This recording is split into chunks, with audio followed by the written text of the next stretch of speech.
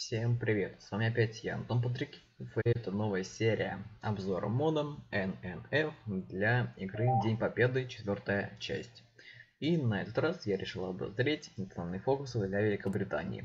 Для самой Великобритании национальные фокусы не были полностью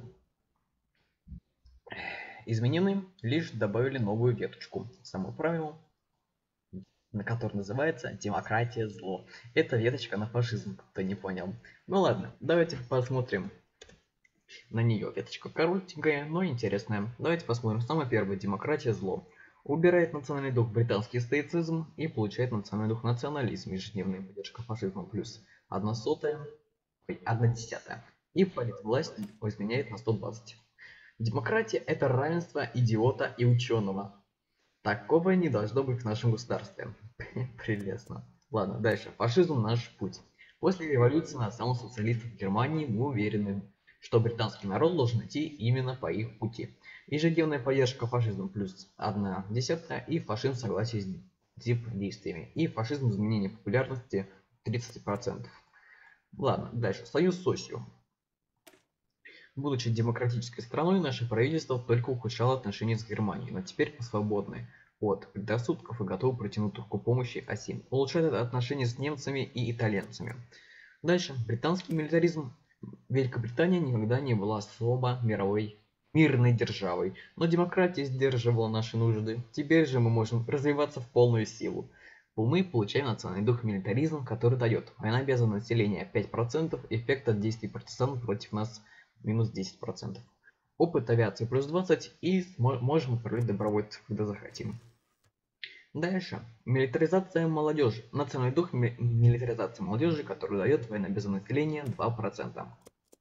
И идеологический фанатизм. Ну вы знаете, что это за фокус.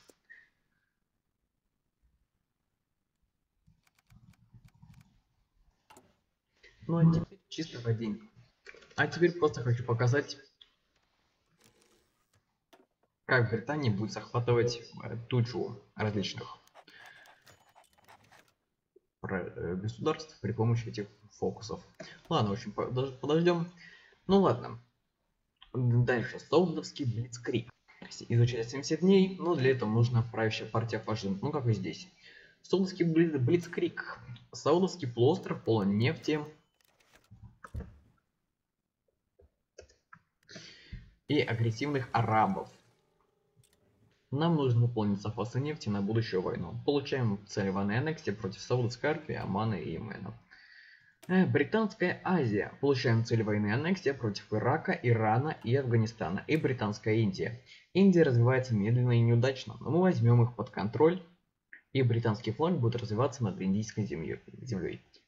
Великобритания аннексирует государство британский Раджастан. Дальше. Воссоединение. Ирландия долго терпела британских солдат, но теперь все по-другому. Мы предлагаем сотрудничество и, и место в нашей империи. Вместе мы достигнем большего. Государство Великобритания аннексирует государство Ирландия. И на континент. Германия вынашивает планы по захвату Франции и стран Бенилюкса. И в этот раз Великобритания поможет немцам. Хотя скорее просто их опередит. Получит цель военной аннексии против Франции, Нидерландов и Бельгии. Ну ладно, я так уж и быть не буду показывать вот это все аннексию. В общем, фокусов только мало добавили для Великобритании, но фокусы эти очень интересные. И позволят вам спокойнейшим образом захватить Францию, жирнику такую, ну и вот все эти страны. В общем, ладно, спасибо за просмотр, надеюсь вам понравилось. Ссылку на мод оставляю в описании. Всем пока.